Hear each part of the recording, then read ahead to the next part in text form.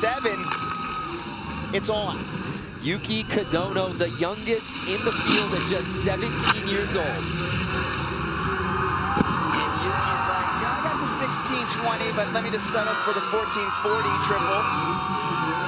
Yuki was an alter three.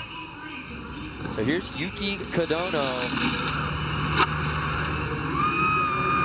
Yuki, oh! And you know what was really cool about backside triple 1620 was. It wasn't like a late rotation, it was more a part of his